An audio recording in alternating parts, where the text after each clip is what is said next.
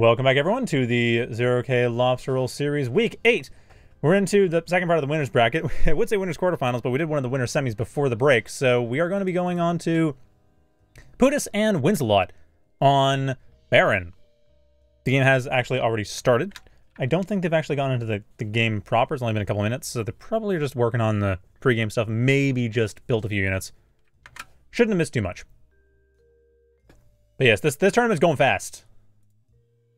And indeed, there we go. Winsalot. Going for Amphbots. Just starting the build up.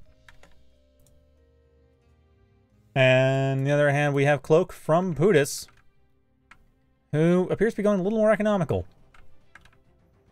Winslot apparently has their has the economic display open. They know which metal strategies to focus on. Although admittedly, Pootis, if they don't, it doesn't. I mean, it won't be the worst thing in the world. I mean, it's not a great payback time, but it's not worthless. It's just, you know, a bit more efficient to grab the 2.1. Like 1.8, 1.8, 2.1, 1.4, 1.8, 1.4. It's like the, that's sort of the optimal path, but it's also risky. Does appear that Winslot might be going for it, though. And indeed, they are going for it. They're definitely going for the 2.1. Absolutely are looking at the Econ overlay to see how valuable these metal extractors are. So again, it's a matter of payback time, and I well, so far, Pootis has not had a payback yet. Close, though. It'll take 90 seconds, and... Well, 90 seconds has just passed in the game, so I don't think that's paid back yet. But... Winsalot is not pushing the situation, so it's possible, thanks to this one Reaver, that Pootis will be able to hold on to that base as long as it takes for that to have the proper payback. And to be fair, Pootis does have an economic advantage over Winsalot right now. It's minor, but it's there.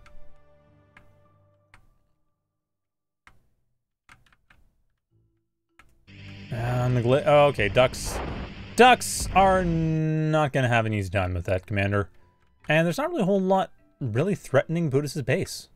Those three ducks were it, and the Reavers have been, have been able to chase them off. Not seeing switch over to boys I'm actually not sure what the plan is on Pootis' part to deal with this. Getting arches eventually, but the question, of course, is how do you deal with these Reavers now? Already, two Glaives going down for free. Or sorry, two Glaives. What am I saying? Ducks! Two Ducks going down for free. Another one very likely might follow, and... Well, the Reaver... Dan playing dangerously, but it is alive. Got rid of six Ducks. Very efficient. On the other, hand, Winslow's commander with the exact same weapon. Taking up Pootis' commander. However, Reaver coming along the side. Oh, no. Pootis' commander might still go down, but Winslow's commander won't last much longer. There's no defensive forces. Winslow's commander goes down. Pootis' commander survives for a brief second before getting shot by one last little, one last machine gun round, killing them.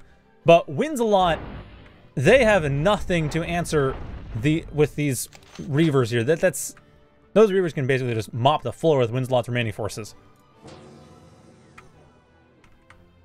And not to mention, Winslot now, they don't have this reclaim field. Pootis setting up a storage just because why not? I guess, is that their only Conjurer?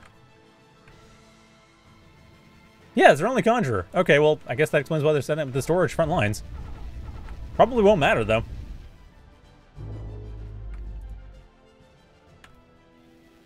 So with that, there's the Reavers coming in, taking the last few metal extractors, and this is why this is Barren. This is this is Barren. It's a very all or nothing map. Honestly, if it if it lasts more than five minutes, it lasts 20, but this will probably be over in five minutes. Winslot is certainly trying to rebuild quite quickly, but we're not seeing uh, Pootis once they get that Lotus up just to secure the reclaim field, they're going to be having 12 metal per second, or 13 metal per second on the reclaim. Winsalot, throws in the towel, and that is looking like it'll be it. Oof.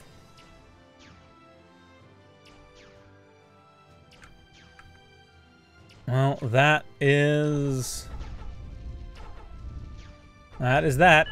There it is with the... Oh, yeah, it is nice dodging, actually. Good point there, Tostic. Very nice dodging out the Reavers, and that very nice dodging, along with a strong commander fight, gives Pootis the win, moving on to fight the winner of Golda and Ted McFred, which is ongoing. Apparently. I I think. Is it? Oh, no, no, it's not. Golda's just hanging out here. Is Ted McFred here? It must be. They beat Madcraft earlier.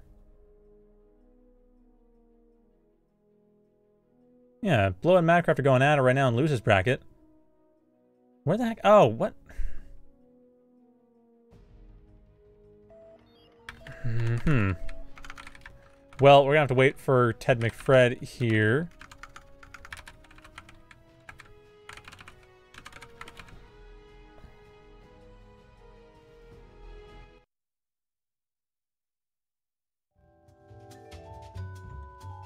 Because that is wrong. Golda was actually spectating this match. So we can just hop right into Golda and Ted McFred. Be the first match we actually get to do any map banning on, or see the map banning for. Just need to have Ted McFred pop in here.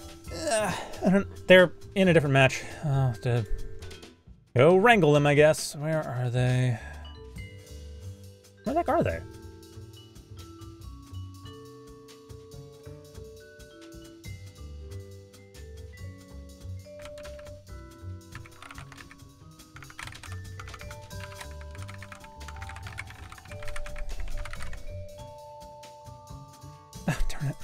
Can't spell. Sorry, you can't see it. I, I used the wrong form of your. I can't believe I used the wrong form of your.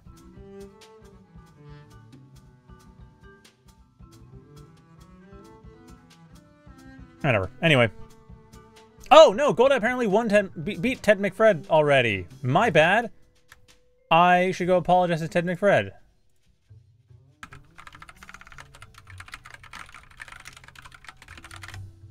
Okay, so that's why Gold was hanging out. Okay, so I wow, okay.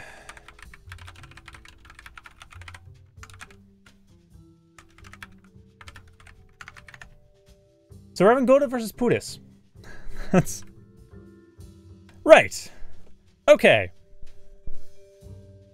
Was not updated as to that, but we are back to winner semis. I put some, some semis, winner semifinals. So winner semis and winner semifinals now. It's two different parts of the Lobster Roll series. Whatever. It'll just be winner's bracket part one, part two. I... That was just a weird opening. Pick the one game that lasted half an hour. It lasted long enough for half of the winner's side bracket to be finished. Oh, my bad.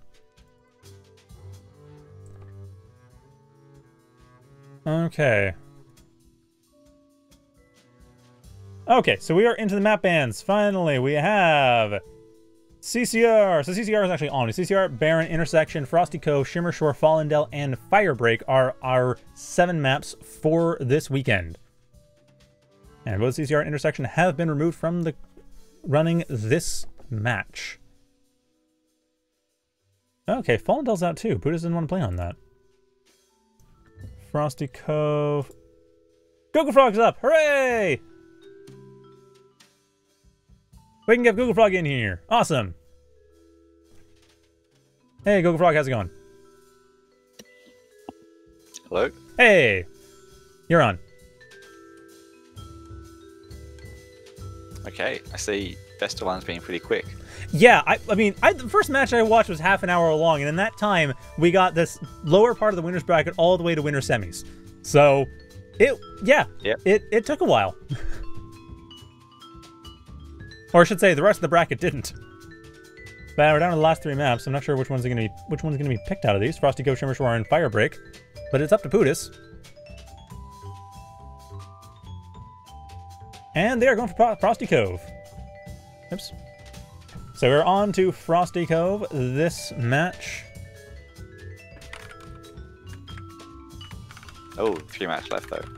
It's banned to three then. Same banned down to one. It's banned to three. It's been changed to banned to three. It's like the last second. Okay.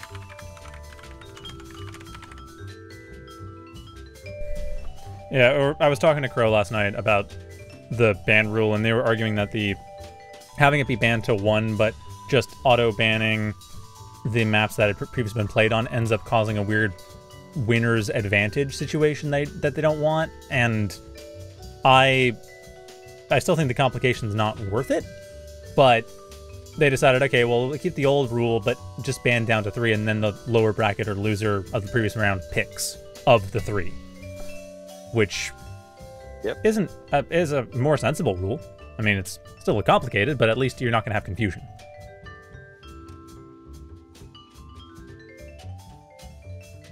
Anyhow, we are going to be going on to Frosty Cove, which is honestly, I think, a good choice. We saw it last time. Golda, Golda could be pushed back in Frosty Cove against the right opponent. Like, Steel Blue nearly took them out.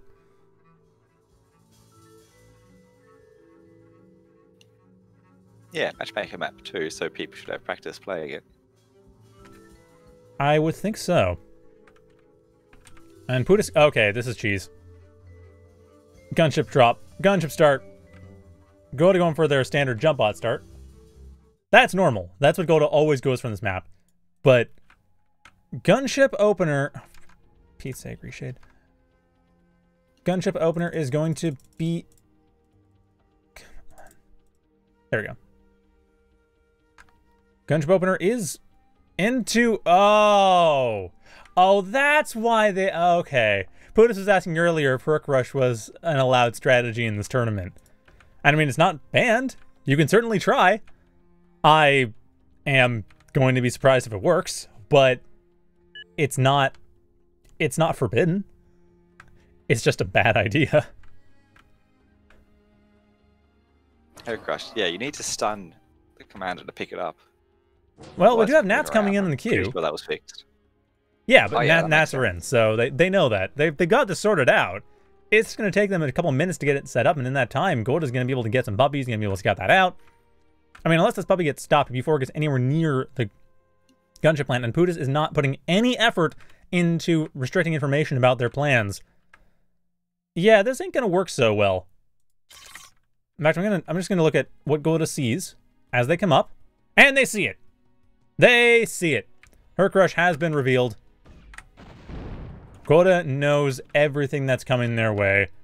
Should be seeing, I think, Mass Puppy. he's just going to I- his commander now. Yeah, it looks like. Yeah.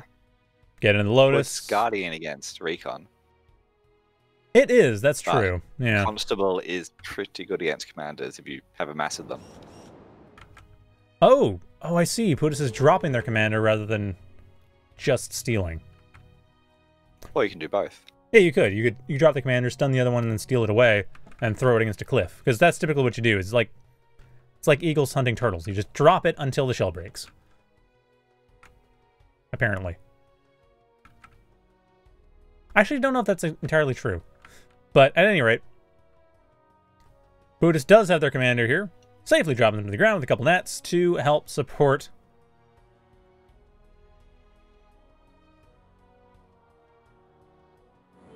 Is that there we It's go. Still a fair few Lotus. That's a lot of Lotus. That's that's possibly too much. Pootis commander trying to rapidly get their own Lotus up, but yeah, they're running against 30 build power on Lotuses. Although the Herc does have the lasers at least for a bit of harassment. I don't see Pootis managing to get a whole lot out of this. The Gnats, Gnats are here they aren't really managing to go in for anything because, as you said, the lotuses that's that's not going to be able to get like you're not going to be able to get anywhere with the gnats with the lotuses like that. Does run some interference with the herc, but it's not really enough. Yeah, Pyro coming up to go around the back, probably. Oh yeah, there it is. Yeah, I won't have any problem being built up. So Goldus Commander under no real threat. Pootis with the Okay, I do like the what Pootis is up to here. At least setting up the Ooh. picket He might be out of position. Yeah, looks like there it is. Herc being a little bit afraid to go for it though, and I can't blame yeah, them. Pyro probably kills it. Yeah, not to mention all the lo- on the lotuses that are there for support. I think he's got to abduct his own commander now. I think you're right. Oh yeah, that stinger's gonna kill it. Or just walk away. Uh, walking away works. Seeing it's not that. Yeah, but much isn't doing that. Pootis is keeping themselves in a very dangerous position when it comes to their commander right now. No, he's walked away sufficiently. Okay, that's true. That's true, but it's it's close. building up a Nimbus back. Oh, it's a good Not transition. Sure about that. I I know I can see it because there's a lot of Lotuses. Any other either you have to switch factories completely, which means building a Wasp, or you build a Nimbus just to deal with the Lotuses from range. There's no other gunship unit that really would be able to take off, except maybe a Revenant. Yeah, but then Goddard gets a razor or two, and that's that. That's true. Assuming they even need that much, but that's the only thing I can think of. Surely he's got to make a wasp now. Oh, I don't know. I think they're going all in on this. Keep an eye on the factory though. Hercules, I think dies if it doesn't get repaired. Ah, yep. It's oh, there it goes. Okay, just getting the fire spit. Even with repairs? No, even with repairs, it's done. Well, it is quite expensive for its cost, for its health. Yeah, no kidding. Well, that leaves Godde's commander quite safe, and Pootis in a really bad position. Although there is, there's the wasp. Nope, never mind. No, it's a revenant. Nope, it's a Nimbus. Nimbus. Having a hard time making up their mind as to what to build, but either way, Godde, like the real threat isn't there. And honestly, at this point, Godde's commander isn't as, I mean, it's still relevant, but I don't think it would have been... It's not as strong now as it would have been right when it started. Still, that's a Nimbus, and we'll see what happens with Godde's commander. Pootis commander, commander's going down with that slow damage. yeah, Pootis won't be able to really fight back. Nim. Both could die. No, well, Golda's commander's gonna die after, if anything. And there's the jump. The Nimbus Well, can't really get a whole lot. on whether you can get vision on this jump to hit it with the Nimbus. Right. No, it doesn't matter. Pootis throws in the towel, and that is Gorda moving on to the winners finals. Because Pootis went for cheese, and cheese. Hey, we have it time when cheese failed. People were asking about that. It's like, hey, do we ever win cheese failed compilation for zero K? And it's like, no, no one ever cheeses. When are we gonna see a failed cheese? Right now. That's when. There's factory swaps sometimes. Uh, that's true. That usually I find happens though off of air though. Like you go in for air or gunship and then you swap out after they've swapped swapped into anti-air.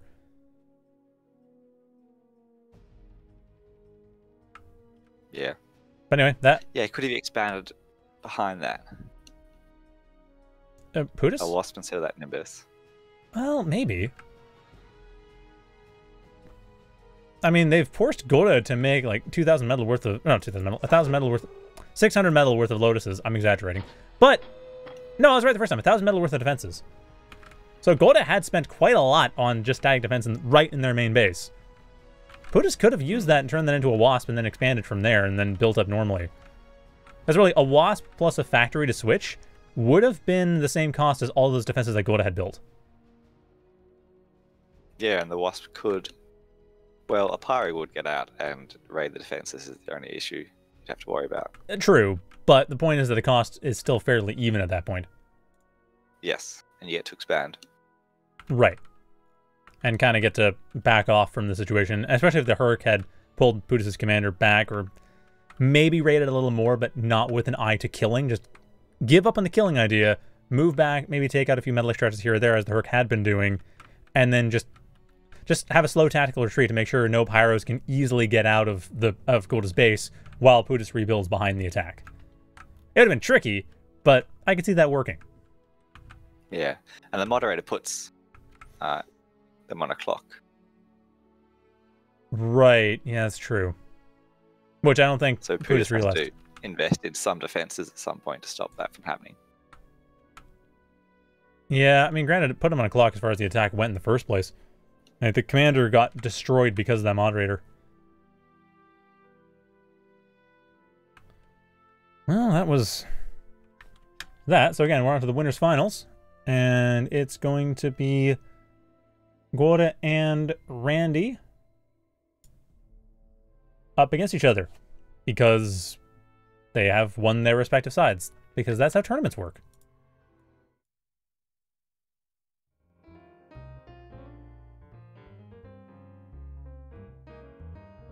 All right, so we are on to, already on the map band phase for them. Best of one. Best of one, Firebreak has been removed from the pool.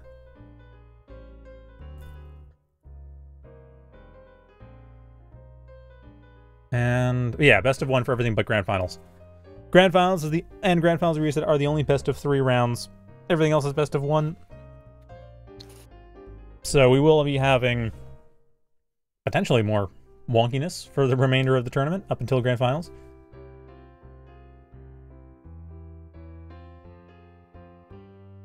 Also, as far in the lower bracket, Winsalot, Blowit, Pootis, and Dying Thrind have managed to advance fairly far. Though Winsalot and Ted are going to be fighting as Dying Thrind afterwards, so that's going to be tough.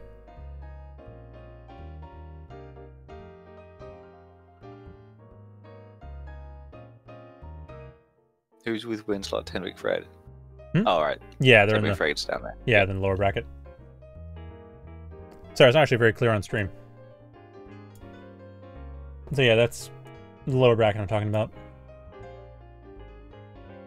They must be having a. Uh, Ted McFred Winslot seems to just be starting, possibly. It does Maybe it just ended.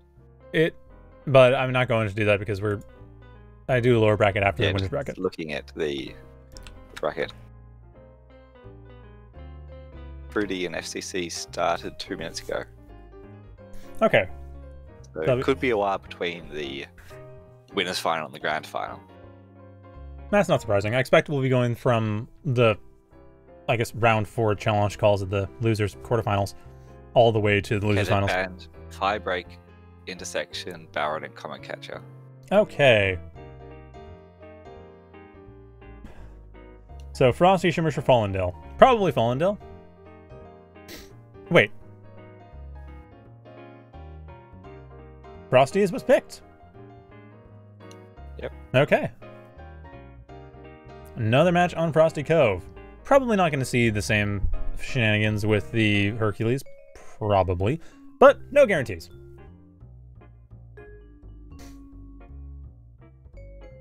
Yeah, especially since they um, see how it goes down. We practiced in dealing with it. Yeah, but at the same time, Randy might feel they some confidence in going for it and then turning it around into a proper game.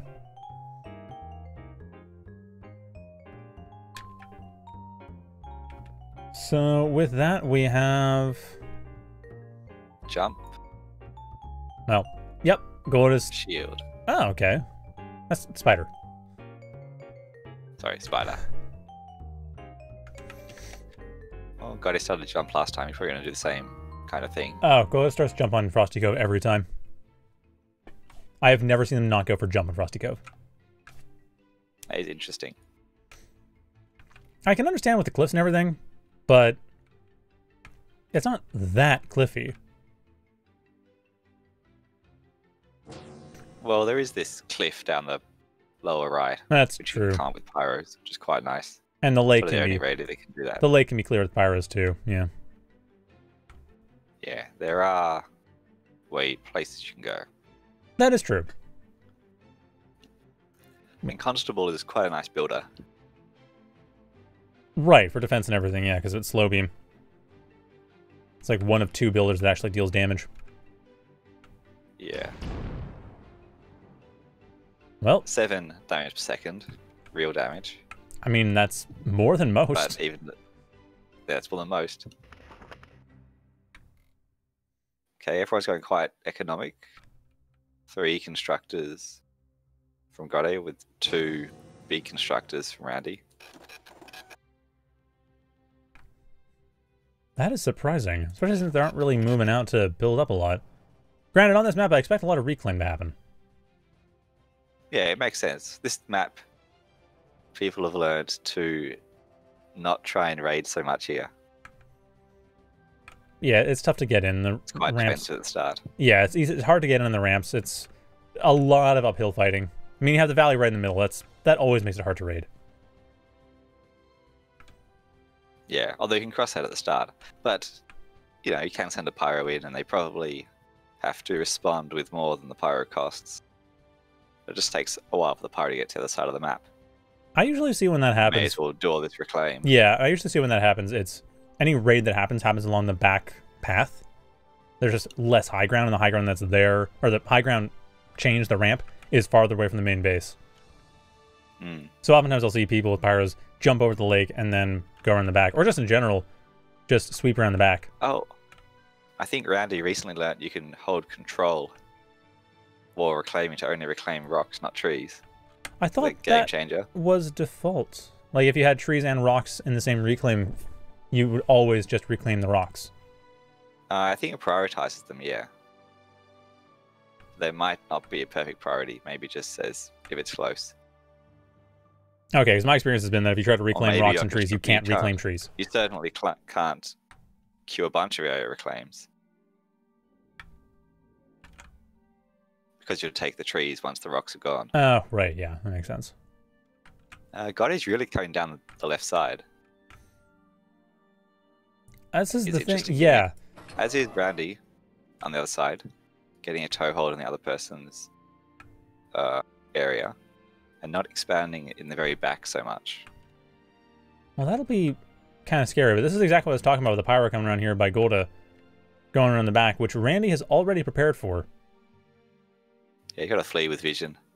Two venoms are sort of stopping it.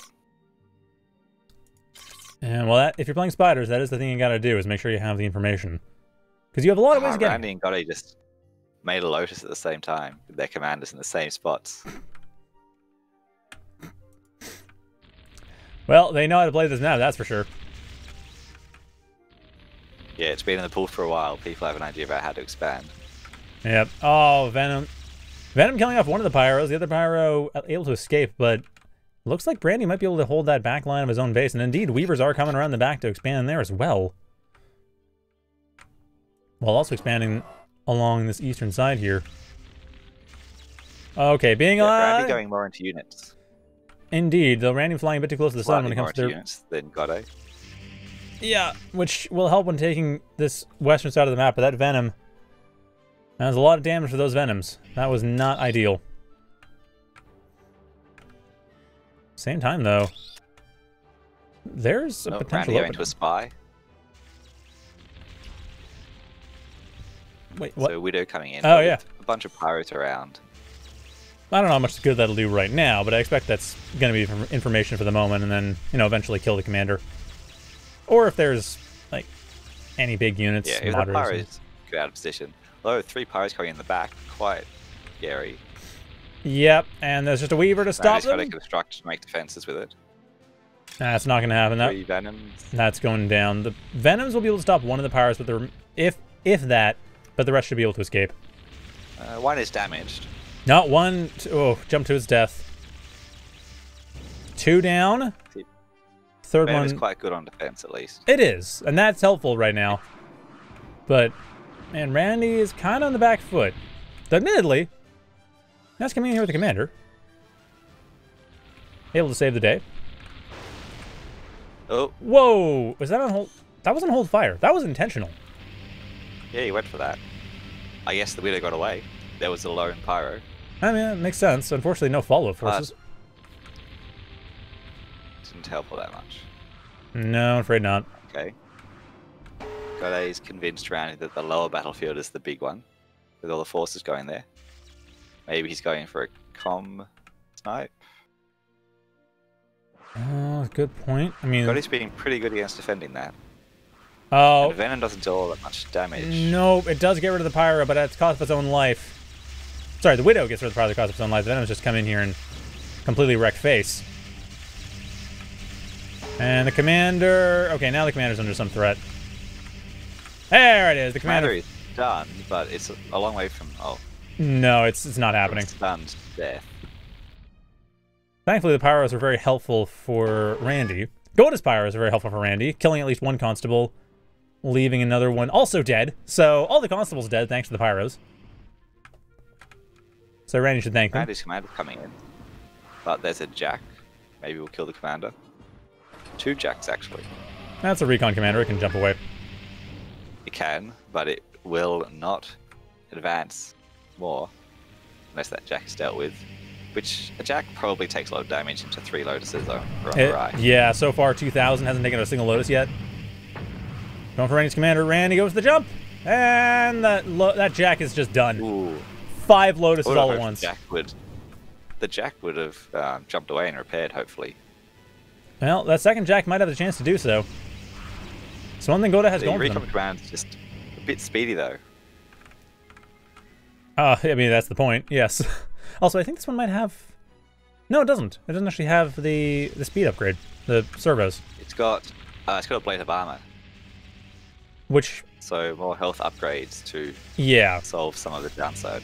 Uh, might not be enough, though. Oh, Randy's commander jumping and now stuck against the Jack here. Venom's coming to try to save the day. Oh, it's risky. They stun. They stun the commander instead. And that's it. Randy throws in the towel. Losing their commander like that is just too demoralizing. They figure they can't take this, and that is the winners finals. Godde taking it just barely. And um, there were two constables around the top, just building pickets into those lasers slowly coming in. That's true, but that's. Oh yeah, it's true over the north or north Yeah, that command of east. Yeah. The north side probably falls to Godde, and then two thirds of the map against a third. Right. And at that point, yeah, Randy wouldn't have a, as that much of a chance. Oh, that is painful though. That that ill-timed jump, letting the Jack come in and punish it. Yeah, the brute force of the Jack beating the finesse of the Widow. Well, I mean, unfortunately for that widow, it just got caught out by the pyro. If it had managed to get to the commander, I think there would have been a yeah, well, chance. the Pyros were screening it very well. They were. That was a really good play. That's exactly the play that Godde needed. And with that, yeah, Godde goes on to the grand finals. So we'll be we'll be catching up with that after getting through the lower bracket, but we'll be having a short break and then swapping into the lower bracket after that once I decide to get back from break. Honestly, it'll probably be the losers round of 16 or the whatever the blow FFC one is called. I don't know what to call these rounds anymore. Challonge's round naming is weird. Anyway, We still have FCC and uh, RTW Fruity. what? That was that was finished. FFC won. They're against Blow now. Oh, okay, the name isn't updated. Yeah. Yep. yeah, FCC's fighting Bloa. Winsalot's fighting Ted McFred. I don't know how far along they are, but we'll see. Anyway, for now, short break. Be back. At least with the losers quarterfinals. Possibly earlier.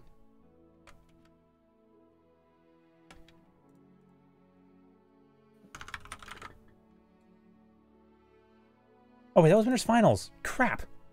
Did it again.